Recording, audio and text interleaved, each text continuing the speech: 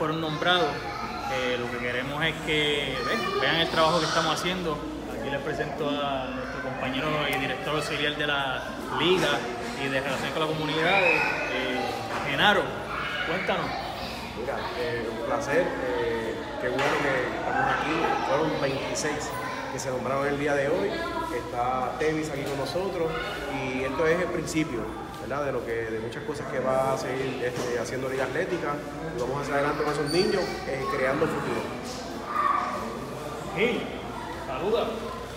Un placer, aquí el río, después de Bayamón, de la. Entonces aquí contento. Saludos, soy Policía eh, pertenezco a la Unidad de Relaciones con la Comunidad y vamos a seguir trabajando con la juventud, con los niños de la Escuela Doctor Irán González. Para nosotros un placer estar impactando a la niñez de Bayamón y seguimos hacia adelante, creando el futuro.